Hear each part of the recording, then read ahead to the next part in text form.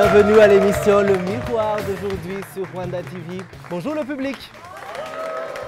L'émission le, Mi- Le Miroir vous fait découvrir chaque semaine les personnalités les plus influentes, les plus inspirantes, celles qui ont réussi dans différents domaines. Aujourd'hui, encore une fois, une grande personnalité.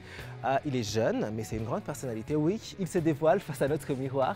Mais avant, comme à l'accoutumée, commençons avec l'actu People de cette semaine.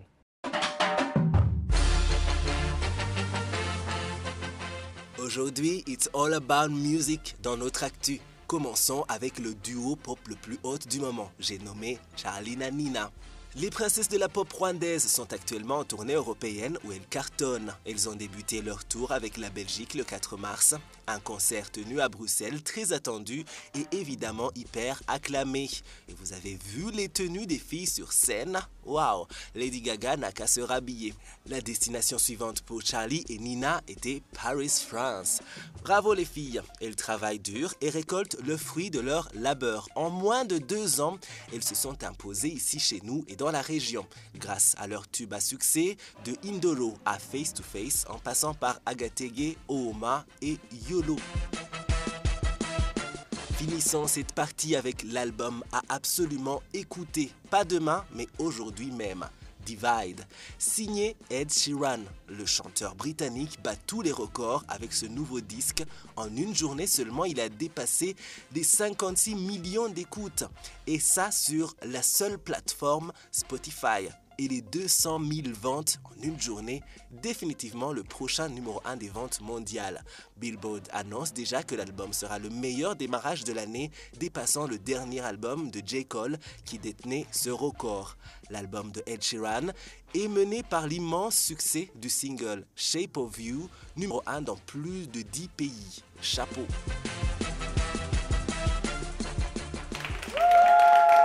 Sommes de retour au studio de l'émission Le Miroir. Le public est toujours avec nous. Ouais. Et vous êtes chaud pour Wesley Luzibiza Ouais, c'est l'invité que nous accueillons aujourd'hui, les danseurs, danse contemporaine. Oui, on va parler de ça aujourd'hui. Il a créé une troupe de danse contemporaine, un festival, plein de choses. Regardons en image qui il est avant de l'accueillir sur notre plateau.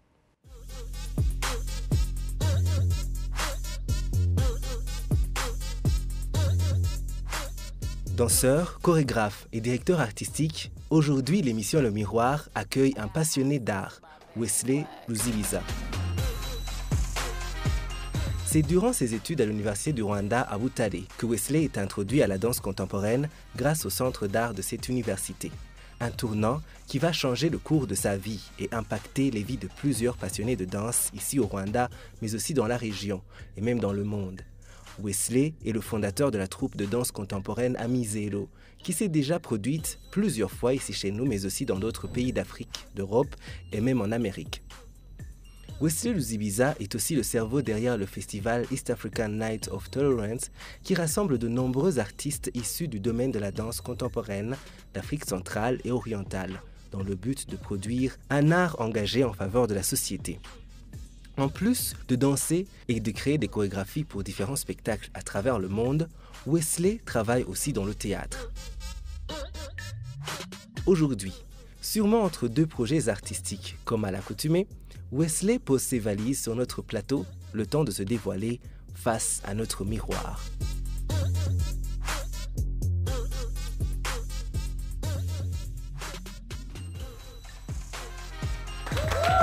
Ouais, il est avec nous sur le plateau de l'émission Le Miroir. Bienvenue Wesley. Tu es avec nous. oui. Bienvenue, bienvenue. Ça va? Bonjour. Ça va bien? Ça va très bien, Dédé, merci. Ouais. Wesley Luzibiza. Ok. Là, j'ai vraiment l'impression d'être une star. Tu es, écoute, tu es une star. Non. Tu as l'habitude d'être applaudi quand même. Tu es tout le temps sur scène. Oui, à la fin d'un spectacle. À la fin du pas au début. Pas pour une émission. ouais. D'accord. Ouais. Tu as même raté notre runaway, tu vois. Ah, ok. Ouais. Fallait que je passe par là, en fait. Oui, Ah, on a- Désolé, je peux recommencer. pour faire le défilé de mode un peu. oui, ça va bien sinon? Ça va très bien, et toi? Oui, très bien. C'est un grand plaisir de t'accueillir sur le plateau. Un plaisir est pour moi. Oui. Et Mhm. euh, c'est la première fois en fait que je fais une interview avec un danseur. Euh, mhm. quelqu'un qui est dans la danse contemporaine. Je trouve que c'est un art très très beau visuellement mhm. et euh, j'aimerais savoir qu'est-ce que c'est exactement. Est-ce qu'il y a une, une, façon de définir la danse contemporaine? Aïe, aïe. Alors là, c'est la grosse question. C'est quoi la danse contemporaine? Même les danseurs contemporains se posent cette question-là. Oui. Donc, euh, ben, moi, je fais de la danse contemporaine. Pour être plus précis, je fais de l'afro contemporain. Mhm. Euh, il y a de la danse contemporaine pure et euh, il y a différents styles qui s'attachent à la danse contemporaine. Donc, moi, je suis plus spécialisé vers l'afro contemporain et le contemporain qui est inspiré de la tradition africaine ou de tout ce qui est de la danse africaine ou afro-africaine. Donc la danse contemporaine, c'est quoi? C'est euh, en général, c'est la danse d'aujourd'hui. Si je dois mhm. définir ça en quelques mots, mhm. c'est la danse qui s'est faite aujourd'hui. Elle peut être hip-hop, elle peut être traditionnelle, elle, peut être euh, euh, moderne, elle peut être contemporaine chez contemporain. Mhm. Donc c'est la danse d'aujourd'hui et qui actuellement s'engage à un sujet ou pas. Ça peut être une esthétique aussi. Donc c'est une danse qui parle, qui raconte une histoire et qui veut transmettre un message quelconque. D'accord. Ouais. Et, alors, tu faisais des études dans un autre domaine. Ouais. et tu entres dans le centre d'art et c'est parti. Tu es. Parle-nous de ce moment-là. oui, bon. En tout cas, la danse contemporaine, c'est vraiment, si je peux dire, c'est une heureuse rencontre, un, hasard qui est mhm. tombé sur moi. À l'époque, j'étais à l'Université nationale du Rwanda où je poursuivais une licence en finance. Rien à voir avec l'art. Donc euh, voilà, et euh, je faisais du théâtre en mhm. parallèle avec mes études. Mhm. J'ai toujours fait du théâtre depuis que j'étais à l'école secondaire et j'adore le mot. Mhm. Donc euh, il y a eu le Centre universitaire des arts à l'époque qui était dirigé par Kulsi Lamko, ouais, exactement, qui organisait des ateliers Arazumit. Donc Arazumit, c'était des ateliers qui ressemblaient un peu à des, artistes de partout euh, qui venaient de l'extérieur euh, du Rwanda et de la sous-région. Mhm. Et à l'époque, si je me rappelle bien, c'était un projet qui s'appelait Fest Africa, mhm. écrire par devoir de mémoire. Et il y avait euh, dans le 50 artistes qui étaient actuellement en résidence à, à, Boutaré, qui devaient à la fin produire un spectacle. Donc ils ont créé un spectacle qui s'appelle Parole, Corps et Voix et Rhizome, mais c'était vraiment ma première rencontre avec la danse contemporaine. Mhm. Donc je suis entré dans cette salle et je suis allé voir cette pièce. J'étais assis là, je regardais cette danse-là qui euh, expliquait avec des mouvements, qui racontait avec des émotions. Et je me suis dit, ah, oh, peut-être que je serais bien de le faire. Donc, mhm. je suis allé, j'ai essayé de m'engager. Euh, ils, cherchaient des artistes pour faire des ateliers. Donc, moi, je suis allé pour m'engager, mais ils m'ont trouvé trop jeune à l'époque pour me prendre. Donc, ils m'ont dit non. donc, euh, je ne suis pas allé. Et puis après, ils sont revenus en 2002. C'était le Centre universitaire des arts qui a, continué à faire ces ateliers-là. Mhm. Et moi, je faisais des ateliers de théâtre. J'étais pris parce qu'apparemment, j'avais un, talent dans le théâtre. Mhm. Donc, je suis allé m'asseoir une fois. J'ai regardé euh, de danseurs. Il n'y avait que deux femmes. Il y avait deux hommes, deux garçons, si je, veux bien préciser, euh, mhm. qui faisaient la danse. Et euh, la femme qui était en train de donner l'atelier, elle donnait un atelier en classique contemporain. Elle m'a dit Ah, tu veux pas venir essayer? Et j'étais assis dehors. J'ai enlevé mes souliers, je suis entré et depuis, j'ai jamais arrêté. Donc, wow. wow. Donc le bon moment, c'était vraiment le, bon moment pour toi. et tu n'as pas eu peur au moment d'aller sur scène ou Tu euh, avais tellement hâte? Au fait, ils n'étaient pas en train de montrer une pièce, ils étaient en train d'apprendre. Donc c'était des ateliers. Mhm. Donc je suis rentré et euh, j'avais apparemment le corps et euh, le physique pour ça. Et la dame m'a dit, tu veux pas revenir demain? Et comme j'avais vraiment aimé, c'était quand même galère, hein, parce que faire la danse classique à, 20 ans, 21 ans, on a les corps qui est déjà développé, donc ça fait vraiment mal. Donc le lendemain matin, je me suis réveillé, est-ce que j'y vais J'y vais pas? mais comme j'avais ces souvenirs-là de cette danse-là que j'avais vue dans Parole, Corps et Voix et Rhizome, et euh, comme j'avais vraiment, je m'étais vraiment éclaté durant les ateliers, ben, je, suis, je suis allé et euh, après ça a continué toujours voulu savoir plus et euh, j'ai toujours voulu faire plus. Et voilà, aujourd'hui, je fais ça comme profession et j'en suis fier. D'accord, ouais, super. Et, je pense que ça demande quand même d'être, euh, je sais pas, d'avoir le rythme dans, dans, dans la peau. Ah, en fait, la danse contemporaine, ça ne demande vraiment pas les rythmes, parce que tout le monde peut faire de la danse contemporaine quand on tu marche. Es sûr ouais, tout le monde peut le faire. Euh, tout le monde ici peut se lever et faire de la danse contemporaine. Parce que c'est une danse qui ne suit pas les normes. Mhm. Contrairement aux autres, le zouk, les zumba, euh, la danse traditionnelle qui est très rythmique, la danse contemporaine est libre, elle, de, jouer avec la musique ou pas la musique, les silences, les mots. Donc on a la liberté d'utiliser un peu les autres formes d'art à côté. et ben, c'est le mouvement, c'est les corps qui s'expriment avec les émotions. C'est vrai.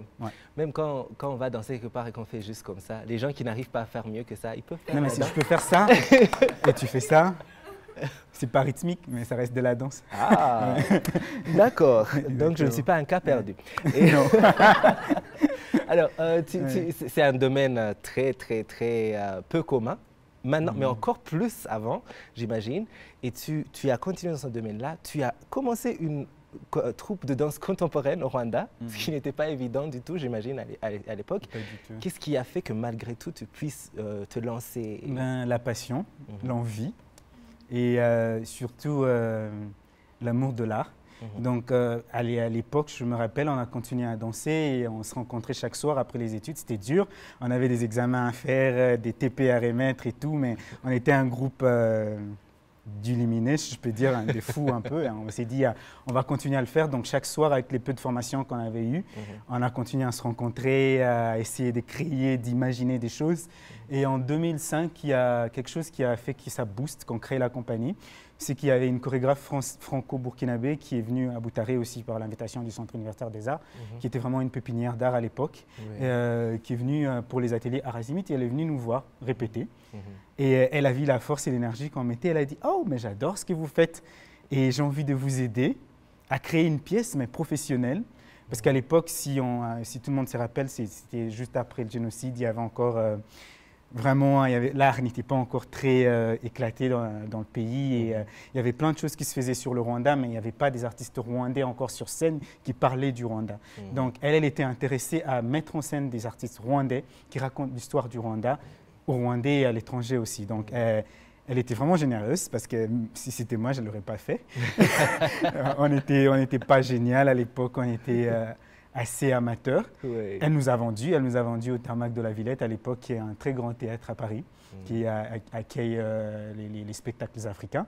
Mm. Donc euh, c'était parti, elle nous a vendu comme ça, par un mot, parce que c'était une chorégraphe très connue, et elle avait beaucoup de relations aussi. Donc euh, elle a vendu une pièce qui n'était même pas faite. Mhm. Donc, euh, on a commencé à répéter à l'époque. Il fallait faire une sélection d'abord de gens qui devaient faire partie de la pièce. Donc, on, a sélectionné 13 personnes au départ et on est resté à 6 à la fin. Mhm. Et on a dû vraiment faire une formation intensive. Je me rappelle, je pleurais chaque jour. Euh, Donc, c'était physique, c'était euh, c'était émotionnel, c'était tout. Tout était dedans. Donc, on est parti de ça. d'abord à Boutaré pendant deux mois à Houillé aujourd'hui, mhm. pendant deux mois. Et puis euh, on est parti au Sénégal, euh, et puis après on est parti au Burkina Faso, où on a vraiment enfoncé le clou, on a travaillé sur une pièce qu'on a créée qui s'appelait Désespoir, qui était écrite par Odile Gakiri Gatessé. Je crois que vous l'avez aussi oui, ici. Bonjour Odile, salut Odile. salut Kiki. Donc voilà, euh, c'était c'était ça, elle a écrit la pièce, nous on l'a dansée. La chorégraphie était faite par Irene Tassevendo et c'était un gros succès à Paris. Et du coup, après, euh, voilà, on a décidé de créer la, pièce, euh, de, créer la compagnie et de rester. Hein, et avec l'aide du Centre universitaire des arts, on a eu des fonds pour pouvoir tourner ici et euh, continuer. Et en 2009, on a été consacré. C'est quand la, la, compagnie a créé BAO, BAO qui a gagné une médaille pour le jeu de la francophonie. C'est là où le, ministère et le Rwanda ont commencé à s'intéresser à ce qu'on faisait en disant ah, s'ils peuvent rapporter une médaille, c'est que ça vaut la peine. Euh, voilà, c'était ça. Waouh, ah, c'est une bonne leçon que le, que le travail dur finit par donner des fruits. Ouais, il ne faut pas arrêter, il faut continuer. Ouais, bosser, bosser. oui, oui. Euh, tu t'es produit dans plusieurs pays aujourd'hui, mm. euh, à, plusieurs occasions. Tu, tu, as vraiment fait beaucoup de choses. Mm. quelle est la, la, disons, la performance la plus marquante pour toi? Alors, euh, j'ai du mal. Bon, ah, j'aurais du mal à répondre à cette question mm-hmm. parce que. Mais c'est moi ou bien la performance que j'ai vue? Si c'est une performance de moi, de, oui, une production de pendant moi. Que tu, pendant que tu étais sur scène ou pendant que tu regardais ce qui se passait ou je ne sais pas. Alors. Mm c'est. Euh, euh, je sais pas. tiens, tiens, tiens, quand même. Euh, je me rappelle, euh, c'est un solo que je fais. Mhm. Et ça parlait, ça s'appelle Le Larme Noire. Bon, c'était pas un solo au départ, c'était une pièce à trois, mhm. mais après je l'ai transformé en solo. Et c'était vraiment la première expérience que je faisais de danser tout seul sur scène. C'est qui, qui est vraiment, pour moi, c'est c'est très intense parce que même moi, en tant que chorégraphe et en tant qu'artiste, voir une personne sur scène, du début jusqu'à la fin, j'ai du mal. Deux fois, je ne comprends pas. Donc, pour, pour m'engager à, ce niveau-là, c'était vraiment une force, euh, vraiment des encouragements de gens d'ici et d'ailleurs. Et donc, du coup, je me mhm. suis lancé sur ça et j'ai créé ces solos-là. Et mhm. je me rappelle l'avoir présenté, c'était euh, aux États-Unis mhm. euh, pour, pour les Sundance. Et à, la fin de la présentation de cette pièce-là, qui parlait un peu de l'exil et de la souffrance de l'être humain par rapport à l'exil, c'était très émotionnel et très intense. Et je raconte aussi un peu mon histoire à l'intérieur. Donc du coup, à, un moment donné, à la fin de la pièce, il y a plein de gens euh, qui étaient dans la salle, qui étaient en train de sangloter et qui mhm. pleuraient. Et ça m'a attrapé aussi. J'avais pas encore fini de jouer. Et à ce moment-là, j'ai commencé à pleurer aussi sur scène. Donc je pense que si je dois parler de moments émotionnels, c'est ça. Mais il y a aussi des espoirs, la première pièce qu'on a faite. Je mhm. J'avais jamais compris cette pièce parce que je l'avais pas chorégraphiée. Mhm. Donc je n'étais qu'interprète à l'intérieur. Et on l'a tournée un peu partout. Je comprenais toujours pas la pièce. Euh, ça arrive souvent hein, dans la danse contemporaine. Mais tu le fais quand même. Oui, tu fais quand même, tu fais l'interprète. Donc on l'a joué ici au Rwanda en 2000. 7 mhm. pour euh, l'AEGIS. C'était, non, l'association de, rescapés, je crois que c'est AEGIS, euh, mhm. Ibuka. Oui. Ibuka qui avait ramené des gens euh, des universités, il y avait des, des, étudiants, des orphelins qui sont venus voir la pièce. Mhm. Et à la fin, on avait toujours une espèce de discussion. C'est l'ARG. ARG, voilà.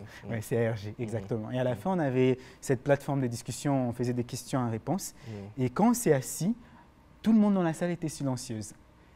Et euh, avant même qu'on commence à parler de la pièce, il y a un qui s'est levé, qui a commencé à expliquer la pièce du début jusqu'à la fin. La pièce que j'avais jamais comprise et que j'ai compris ces jours-là. Donc c'était un moment super touchant pour moi. Il parlait de tout ce qu'on avait fait, le fait qu'on sorte dans des paniers, c'était euh, cette espèce de, de violence qui s'éclatait dans le monde. Et il a tout expliqué en un coup et j'ai tout compris. Donc c'est resté dans ma oh. tête ces moments-là. Ouais. C'est vrai. Parce que c'est très, les spectacles de danse contemporaine, c'est très, très émotionnel. Et justement, j'allais te poser la question si parfois ça ne te prend pas d'être prise en émotion. Et justement, ça arrive aussi. Parce que mm, ça arrive, mais c'est pas conseillé. Hein, parce que, ouais, parce qu'en tant qu'artiste, uh-huh. euh, on est quand même censé contenir nos émotions et, et aussi les transmettre autrement, parce qu'on on interprète quand je suis, moi, quand je suis sur scène, c'est pas Wesley Rouzibiza. Mm. Donc, euh, c'est la personne qui joue, c'est, je peux être n'importe qui, quoi. Je peux être une banane, je peux être un orange, je peux être tout le rôle qu'on me donne. Est-ce que tu peux être une banane, là, tout de suite Comment on fait ça? Je sais pas. Non, je, peux tout interpréter, que ce soit dans le théâtre ou dans la danse. On est, on est avant tout des interprètes de nos propres histoires et des histoires des autres. Donc, du coup, on n'est pas censé vraiment euh, ressentir les émotions personnelles sur scène, mais plutôt c'est des autres. Mais ça arrive de moments pareils et ça arrive souvent. D'accord.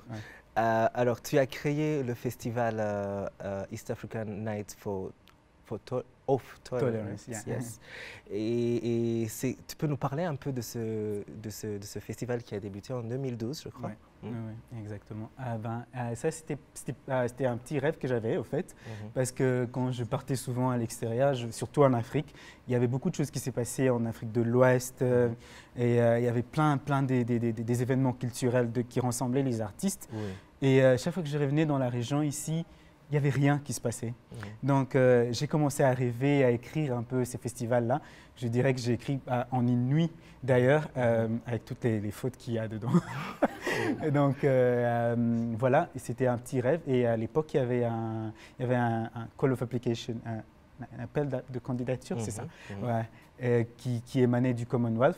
Mhm. il voulait des projets de, de, la sous-région qui qui travaillait sur le social aussi et tout. Et j'ai attendu pendant quatre mois, comme tout le monde, et j'ai tremblé chaque fois que je voyais mes emails. et euh, après, euh, effectivement, le projet a été pris. Euh, je crois, au Rwanda, j'étais le seul projet qui était retenu. Donc, et puis après, voilà, j'ai ramené les amis, les artistes pour pouvoir renforcer le projet. Mhm. Et c'est comme ça que le festival est né en 2012 on rêve de le faire aussi cette année encore. Donc, voilà. En 2017 Oui, et on, a, on espère. On, espère. Oui. On croise des doigts. Oui. oui, nous sommes avec Westia Luzibiza aujourd'hui dans l'émission Le Miroir. Et euh, c'est l'émission Le Miroir, donc on ne va pas s'arrêter qu'aux questions. Il faut bien qu'on fasse des jeux. En commençant avec le défi. Ok. Mhm. Alors le défi, ce ne sera pas vraiment un défi, ce sera peut-être un défi pour nous ou pour quelques personnes ici ou ceux qui nous suivent à la maison. J'aimerais que tu, que tu nous puisses nous montrer quelques basiques, disons, du- de la danse contemporaine. Que- quelques petites... ouais. Ouais, il faut, il faut applaudir. Bon. Les basiques de la danse. Là, là. Il faut que j'ai des volontaires alors. Ok. Ben, Qui, qui- qui est volontaire? Je- je- on, a, on a un danseur. Toi, je te connais, je t'ai déjà vu danser. Donc, euh, avez-vous la danse tiens. Allez, courage. Ouais. Bravo. Ouais, bonjour. Mhm. Merci. Euh, Oui. c'est simple, hein. c'est pas compliqué. Bon, Ah la oui, danse alors, contemporaine, il faut respirer d'abord. mhm. Le, le truc le plus important qui- qu'il y a dans la danse contemporaine, c'est la respiration. Et après, c'est le contact avec le corps. Comment le corps ressent les choses, les énergies. Donc, euh, on va faire un petit exercice. Euh, bouge tes bras. Pense à l'eau. Allô Ouais, à l'eau qui coule. Ben voilà, il danse. Il fait de la danse contemporaine. c'est aussi simple que ça. D'accord. Ouais. On peut faire encore un, un autre petit truc. Euh, tu peux marcher. Marche normalement. En regardant devant toi. Ok. Euh, tourne là. Maintenant, change les rythmes en, manchant- en- en- en marchant. Vas-y, tu changes les rythmes. tu peux prendre ces Tu peux faire rapide. Ouais. Tu peux faire lent. Tu peux faire autant de rythmes que tu veux. Oui, rapide maintenant. Mani. Un Lent. peu lent, stop. Tu reviens. Ok. marche, saute. Ouais, c'est ça la danse contemporaine. C'est ça Oh, bravo C'est pas compliqué, mais bon, on l'apprend pas en une journée. hein. Merci quand même. D'accord. Waouh Ah, le truc de l'eau, là, on va, on va Ouais. tous le faire. Hein, Ben ouais, tout le monde peut le Maintenant, on va dire, ah, on sait faire. Ça peut être comme ça, hein. ça peut changer de Oh. forme. Oh. Là, comme ça. Voilà, maintenant on fait de la danse La contemporaine. danse contemporaine. La danse simplement. La danse. Merci. C'est l'émission Le Miroir qui continue. Cette fois-ci, on va passer au quiz. Oui, c'est notre partie de notre émission, le quiz. Et le quiz aujourd'hui, on va un peu changer et ce ne sera pas moi qui vais poser les questions, mais ce sera le public. D'accord. Mhm. Alors, on va faire euh, un vrai ou faux. D'habitude, on le fait en image, mais on, on va un peu changer. Et euh, le vrai, on a, j'ai des complices dans le, dans le public qui vont m'aider. Ils te posent une question, ils te lisent quelque chose, Mhm. et il faudra euh, essayer de savoir si c'est vrai ou si c'est faux. Oh là là. Mhm. On reste dans le domaine, disons, art, culture, people rwandais. Mhm. Oui. Le nom de la Miss. Bonjour d'abord. Bonjour. Je m'appelle Esther. Bonjour. Euh, la question est le nom de la nouvelle Miss Rwanda 2017 est Mouté Sidjoli. Attends. Non. je crois que je suivis Miss Rwanda. J'ai pas retenu son nom, mais Vrai c'est ou pas Moutessi. Vrai ou faux? C'est vrai ou c'est- Tu répètes? Moutessi. Ok. Le Mhm. nom de la nouvelle Miss Rwanda Attends. 2017 est Mouté Sidjoli. Je crois que c'est vrai. J'ai pas retenu le nom, mais je crois. Je vais me lancer, c'est vrai. Ah. non? Ah, J'avais raison. Tu avais raison. Et pourtant, j'ai suivi Miss Rwanda. Oh là là, la honte. Ah, la honte. Oui. Alors, on continue avec, avec le, deuxi- le, le deuxième, euh, le deuxième, la deuxième complice. Oui. Alors, euh, bonjour, Bonjour. je m'appelle Carmel. Enchanté même. Euh, pour la deuxième question, euh, l'humoriste Hervé Kimeni est aussi surnommé Gasumoni. Non, c'est Atom. Ah, je connais. Ouais, déjà un point, c'est pas mal. Hein ouais. Alors, troisième. Bon, bonjour, Bonjour. mon nom c'est Rodrigue. Euh, je voudrais savoir si King James est l'interprète de la chanson Yanoumi. C'est vrai ou c'est faux? Nous, Mie. Tu connais pas cette chanson? Yano. Oh my Est-ce que je god. peux faire le rythme, s'il te plaît? On pas pas- n'a pas droit à, à- à ça, là? À des indices? Pas d'indice. Il y a- Il y a nous, Mie. C'est une chanson Euh, tellement Ben, populaire. je vais dire faux. Mon Dieu. Vrai? Vrai? Non, mais sérieusement, je suis pas bon dans les, dans les titres de chansons. Le rythme, peut-être, oui. mais C'est une chanson sûrement que tu reconnaîtrais Yeah. parce que c'est une chanson très très très célèbre. Il y a un C'est- nommé. c'est- Ouais, Piano de King Je James. suis sûr que je devrais connaître la chanson, mais les titres, non. Bon. Alors, euh, c'est de King James, alors, c'est vrai? Oui, voilà. Oui. Le, euh, le on en est à la quatrième question Ouais. Bonjour, Bonjour. moi c'est Arnaud. Enchanté, Arnaud. Euh, ma question, Motions est une marque de vêtements made in Rwanda. Pardon? Motions Ouais. est une marque de Ouais, ouais, vêtements made in Rwanda. Ouais, il m'a même habillé une fois. Ouais. Moses. Ouais. Il a été sur notre plateau, il est, il est super. Il a Ouais, fait des, ouais. très belles choses. Il m'a habillé pour euh, le festival en 2014, donc Oh. Motion Forever. Ok. oui. Alors la dernière, oui. Bonjour, moi c'est Chazal. Ouais, Donc la dernière question, Matière grise est un film de Kivu Ruhorahod. Ouais, vrai. Je, Ah Tu connais le film je connais le film. Heureusement. Ben, Miss Wanda et King James, quand même, Oui. bon. 3, sur 5, c'est pas mal. 3 sur 5, c'est bon. Ouais, 3 Tu, sur tu- 5. tu- tu passes à l'année suivante. 60, c'est bon. Ouais. Bravo, bravo. Le temps passe vite, malheureusement. On avait plein, plein de choses dont on aurait aimé parler. Mm. Euh, donc, on va devoir faire court. Alors, c'est l'émission Le Miroir. Rapidement, on aime poser cette question. On doit poser cette question d'ailleurs. Mm. Face au miroir, qu'est-ce que tu aimes le plus sur toi et qu'est-ce que tu aimes le moins? Ah, physiquement Oui, c'est oh. pas philosophique, hein pas- On ne va pas très loin, c'est juste Qu'est-ce physique. que j'aime le plus chez moi Oui. Euh, Mes dents. Des belles D'accord. dents. ouais, euh, mes dents. Je crois que j'aime bien mes dents. Qu'est-ce que j'aime le moins chez moi? Mes cheveux. Il y, il y y a un petit truc qui est en train de venir là. Non, mais, non, mais je sais pas. Euh, Mais ça, je dis, je dis souvent, tu- si tu vois un homme avec, euh, un jeune homme qui commence à avoir la calvitie, c'est qu'il est sage. ah non, non, non. c'est la il y a- sagesse Je connais plein de gens qui ont la calvitie. Qui Et qui sont pas Mais Moi, sages. je n'ai pas la calvitie, hein, je perds mes cheveux. tu parles de cheveux. Faut pas dire à la télé que j'ai la calvitie. Ah, d'accord. Ça craint. D'accord. On n'a rien dit. Non, je pense que c'est ça. Mes dents, ouais. D'accord. Je, je- je crois que c'est la chose que je trouve qui est vraiment euh, assez bien. Et, mon sourire, ben, c'est pas une partie du corps, donc Mhm. voilà. Oh. Ouais. Voilà. Merci beaucoup. On applaudit encore pour notre invité. qui s'est bien dévoilé face à notre miroir. Merci beaucoup. Merci. Et euh, on est presque à la fin de l'émission Le Miroir d'aujourd'hui, mais comme à l'accoutumée, on vous propose un top 3. Euh, regardons. Le top 3 de cette semaine, on s'intéresse aux clips musicaux, aux chorégraphies devenues mythiques. Préparez-vous à danser. En troisième position, Thriller de Michael Jackson.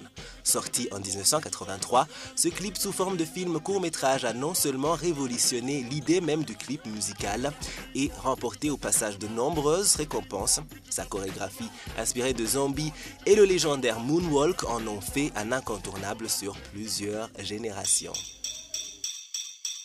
En deuxième position, Single Ladies, Put a Ring on It de Beyoncé. La vidéo sortie en automne 2008 a tout défait sur son passage, plus de 3 minutes de danse non-stop, très récompensée par les MTV Awards notamment, et qui ont inspiré une pluie de parodies et remakes sur le net. Et tout le monde a au moins fait dans le secret ou en public la danse de la main. Oh oh oh. Allez, avouez-le, c'est pas grave. Même le président Obama l'a fait et devant les caméras. En numéro 1, Tago Mago de Kaoma. Ai-je besoin d'en dire beaucoup? Vous le savez, dans toutes les fêtes et dans tous les dancing, cette chanson est un must. Et tout le monde se met en ligne et on fait tous les mouvements issus de la vidéo. Ce groupe, issu de plusieurs parties du monde et principalement des îles, a créé un vrai classique avec cette chanson et sa chorégraphie aux ambiances brésiliennes. Tout le monde en ligne. Et oh, et oh.